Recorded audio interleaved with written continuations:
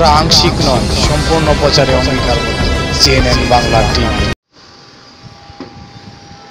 রিয়াদ কেন্দ্রীয় বঙ্গবন্ধু ফাউন্ডেশনের প্রধান উপদেষ্টা ডাক্তার নিয়াজ মোহাম্মদ খানের বিদায় সংবর্ধনা উপলক্ষে আলোচনা সভার আয়োজন করেন রিয়াদ কেন্দ্রীয় বঙ্গবন্ধু ফাউন্ডেশন ও মহানগর ফাউন্ডেশন।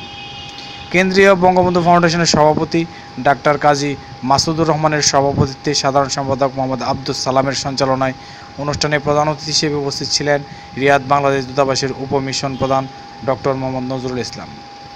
বিশেষ অতিথি হিসেবে উপস্থিত ছিলেন দূতাবাসের শ্রম কাউন্সিলর মোহাম্মদ সরওয়ার আলম, মোহাম্মদ আলী নূর, ডাক্তার মোহাম্মদ শাহ আলম, কৃষিবিদ Shamim Abedi, Syed ATM Ziauddin, doctor Sarwar Hossain Sachchu, engineer Mohammad Abdus Sabur Khan, Mohammad Nazim Uddin সহ বঙ্গবন্ধু ফাউন্ডেশন রিয়াদ আওয়ামী পরিবার।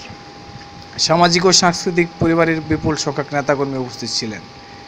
বক্তারা বিদায়ী অতিথি ডাক্তার নিয়াজ মোহাম্মদ খানের প্রবাসীর তিন দশকের জীবন যাপন নিয়ে আলোচনা করেন, পাশাপাশি তার দীর্ঘায়ু কামনা করেন। সিএনএন বাংলা টিভি, রিয়াদ থেকে মোহাম্মদ হাবিবুর রহমান ভুইয়া।